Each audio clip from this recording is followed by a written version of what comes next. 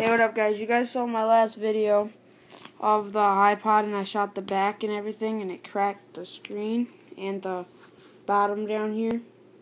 But I made a case for it so it doesn't, uh, like, what do I say? Break it more.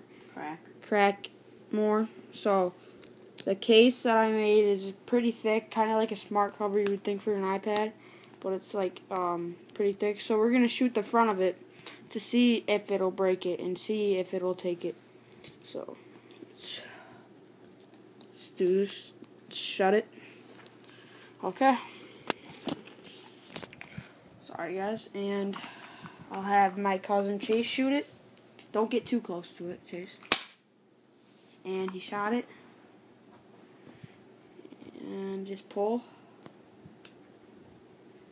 And did it take it? Yeah. It? Looks like it. Can't really tell because it's. No, it took it. And so that's my case that I made with duct tape. Pretty good tape.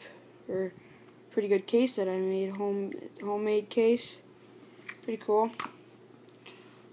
So Well, those other shots did reset your iPod. but um my iPod wouldn't turn on and it wouldn't stay on without charging it, so I charged it for a little bit and it finally worked and it reset my whole iPod. I had to download everything else again on it. So mm, let's play some music. Show you guys that everything works.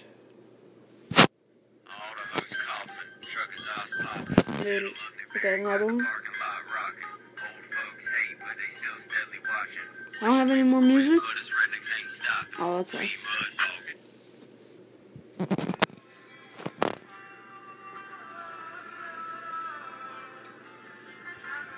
So, the music does work. Uh, games work, like battery percentage, 75%. Wow, I don't even know how it does that. Uh, Temple Run. Let's try Temple Run.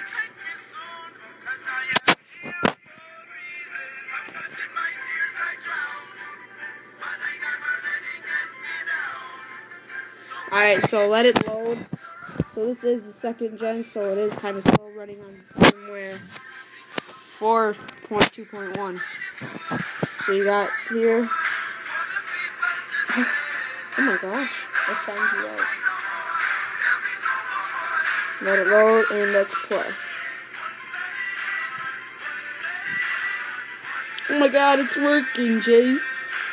I didn't even think it'd work. Looks like you're running really fast. So it works.